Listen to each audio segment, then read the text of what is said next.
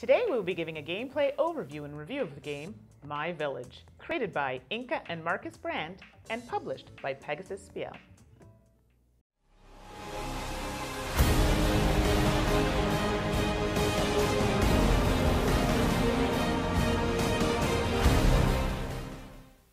Hello everyone and welcome to another episode with To Die For Games. I'm Mandi, the board gaming pinup girl. My fellow hosts are Tracy, the gaming maven. And I'm Steph, the games teacher. Are you looking to check out a particular part of the video? Maybe keen on seeing the gameplay or the review? Click on the timestamps below and jump right to the part that you want to see most. Did you enjoy a particular part of the video? We would love to hear what you think or what you want to see next, so feel free to leave a comment below. Also, by clicking on the subscribe button, you will know as soon as there's a new video posted. My Village plays in about 60 to 90 minutes, is suggested for ages 12 and up, and accommodates two players. We've got My Village all set up and ready to go, so let's get to it. Objective. Players each have their own village and try to improve it by adding buildings, traveling, attracting customers, and training monks. As villagers die off, players are trying to get their villagers into the Chronicle, as well as training the next generation, all while avoiding losing their story points to rat invasions. The player with the most points at the end of the game wins. Tracy, tell us what's inside the box. Components. Components! So exciting! Love the components. Components. One main board, four player boards, four overview cards, four Grim Reapers, and four 212 value tiles. Four headmen and a time marker, one for each player, 12 dice, eight standard, three black, and one gray rat die, one rat meeple, story point markers, black markers, day laborer tiles, 104 village cards, which include church, monk, council chamber, meeting place, field, travel, craft, and customer cards, a starting player hand token, score pad, and a rule book. All right, now that we know what we are playing with, how do we set up? Setup. Place the main board in easy reach of all players. Story markers, day laborers, and black markers are placed beside the main board. Each player takes their player board, overview card, Grim Reaper, and a two and a half value tile. Sort the village cards by type. Craft buildings, council chamber, and church cards are placed in overlapping fashion, with the top half of each card showing. Travel cards are placed in shuffle stacks matching the letter on the bottom left part of the card, A through E. The meeting place and field cards are piled in their separate stacks. Monk cards are shuffled in their individual values and stacked side by side. Customer cards are shuffled and placed on the main board. The top six are drawn and placed face up beside the board. The rat meeple and rat die are placed on their spaces on the main board. Starting player receives a start token, which is a player hand with a story point on it. Players place markers on the five villager spaces, the Grim Reaper on the bridge, the headman on the main house, and the time marker on the first hourglass to the right of the bridge of their player board. Players receive markers placed onto their money barn, depending on player order. The number of white and black dice are dependent on number of players.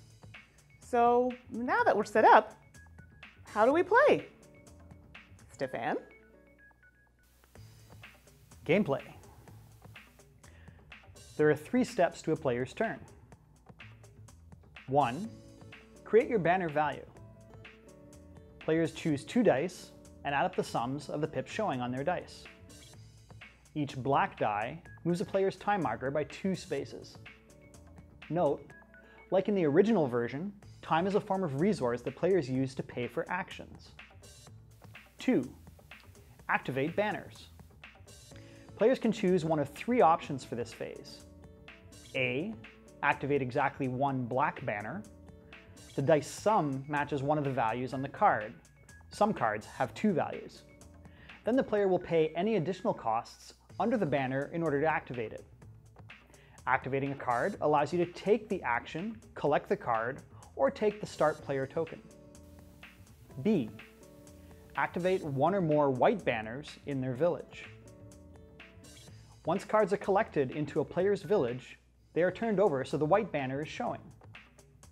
When a player activates a white banner, they take the action on the card. This action allows a player to activate any or all banners that match the sum of the pips on the dice taken. Important. The villager that matches that card color must be active or the action cannot be taken. C. Activate the black question mark banner of their village. The question mark banner allows players to secure their story points. Moving their headman from the main house to the story tree allows players to guarantee their story points won't be lost in a rat invasion. But they must be brought back to the house in order to do so. 3. Check if any villagers pass away. If a player's villager passes away, they are placed in the Chronicle, which is worth points, or in an unmarked grave, which is not. If a player dies, the player rolls the rat die and moves the rat. If the rat reaches the rat invasion space, a rat invasion occurs, forcing all players to lose half of their story points, rounded down. Game end. The game ends when a certain amount of graves, both chronicle and unmarked, are filled. The amount is based on a number of players. Players count up their points from the chronicle, the spots they filled, points on the various village cards, and any story points that made it to the main house. Also, one point to the player who has the starting hand token. The most points at the end of the game wins. So that is how you play My Village. So now it's time for our review. What did you guys think of My Village? I love its big brother, The Village, or Village, I think it's just called, and it's in my top five. So this one, I figured right away it was going to be right up there with it. I also really like this version as well. Uh, also a big fan of Village, the original game, and this one really hit it for me. I was kind of, eh, eh, ah, so I liked it. Not in the beginning, I was a little worried, but uh, overall, I really liked it. And again, I also enjoyed the original, so I enjoyed this one. So let's jump right into artwork and theme. What do you guys think about that? I love the the theme is very consistent with the original one, very medieval village like. The artwork is also very consistent in that feel. It looks really nice, very bright, and you can definitely distinguish the various areas of the village by the colors of the cards. Yeah. I agree. I enjoyed the artwork in this. It's very similar. The iconography is very similar to Village, and it really it really worked for me. I felt like I was coming home to an old friend. Aw, that's nice. It's like has that warm quality to it. The colors that are used with the reds and the orange and the yellows and you know it's called my village. It is your little village because you get your own little you know board and so yeah so I, I enjoyed that part of it and the quality of Camones the actual how they felt were good which we'll jump into our next thing. But overall artwork I liked. It tied into the theme. You saw villages. There were villagers. It worked. Quality of components I just kind of jumped ahead there um, I'll start, but uh, the cards were quite nice. Overall, the boards were good, so nothing was flimsy. So if you had the original game, it was comparable to that. What did you guys think about that? There's a lot of pieces, just like the original game. There's a lot of pieces, so you're going to be spending about 20 minutes organizing the different cards into their different piles before you even get to play. So plan ahead. Yes. One thing that I missed from the original game in this version was all the wooden meeples that you had, your family of meeples, and they don't exist in this one. In this, they're black cylindrical tokens that you use to define your, your different villagers. I felt that was a little lacking, but didn't really detract from the gameplay overall. I'm like, does that make me feel less guilty about killing them off? Maybe that was uh, why. Cylinders. No, but yes, I agree with you on that one though. The the it just it. I did like the meeple. I don't know, maybe because it looked like people. I don't know if that makes me a bit of a lunatic, but I, I did I did miss that part. Maybe that's something you could do for a deluxe version. Uh, uh, Oh. oh, and speaking of killing off, the Yeah. Grim Reaper component. What's with that? yes. What's with the Grim Reaper? I didn't get it. I I was so I was like the Grim Reaper, yes. oh no, no, like it was falling apart. I'm like, if we're gonna do this, it needs to be good. And I was a little disappointed. I'm like, hey, you know what? I just didn't even use it. I mean, I understood the game itself because I played Village. It's very similar concept at the mm-hmm. time, passing the bridge, someone's got to die. So it was cool. But the piece itself that was made, I apologize. I just really, that needs to be fixed. Yeah, it didn't really serve much of a purpose other than aesthetically. So I also just kind of let it sit on my bridge, and it just kind of hung out there, intimidating the villagers that came by, ready to meet its maker. Exactly Yeah. what they just said. I, I fully agree. See, we're okay. So that's the one thing. Okay, uh, game mechanics. Maybe we'll start with uh, Steph, What do you think? I like the time as a resource. Yep. Spending time to take actions makes logical sense. And I found one thing that was lacking for me, I guess, in the original game, you had black cubes that were plague cubes. You had to take the black cubes in order for the game to proceed. Someone did, and it cost them extra time. In this, they're replaced with black dice, which are plague dice, mm-hmm. that serve a similar purpose. They cost extra time to take those black dice, but I didn't feel that you were forced to take the black dice as often as you should. Yeah. And so for me, that was a bit lost. Okay.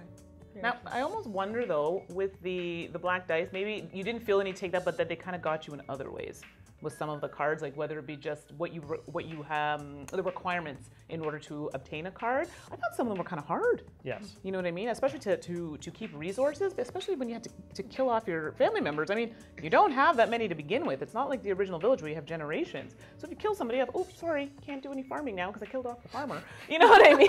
So, uh, so I don't know. I, I guess they had to find some way to balance it. But I, I, I'm just throwing that out there. So, um, what do you think? For me, the most interesting mechanic is the dice. It's a dice game, but do not be fooled, people. It is just as hard, and like you said, maybe Yeah. even harder than Yeah. the original game. The, the dice are just simply uh, changing mechanics, but they don't make it easier by any means. It's Yeah. still a very strategic game. People automatically assume you hear dice. Oh, it's easy. Uh, no, you still need to have a bit of strategy here. And for me, it was the church. it was great for me. It worked out quite well. I never win, so I have to celebrate a little bit. Um, so I found that worked for me. I don't know. You guys tried some other strategies in the game. I did. I went a little bit with the council chamber in one game and a travel in the other. Right. So I like to try each one out a little bit, see what one works for me, and yeah, yeah. I've played it several times and I still haven't won yet. So I, I'm still trying to find my proper mechanic. try the church cards. Maybe. anyway, so I think we've covered everything. So overall, I enjoy this game. I enjoyed the original. So and I took me a while to get there, but I did also really enjoy this as well. So two thumbs up for me. Two very big thumbs up for me. Huge thumbs up. and we all own it, so you know we're kind of biased. Anyways, well, thanks so much for joining us and uh, watching our show about uh, my village. And we'll see you next time. Bye. Bye.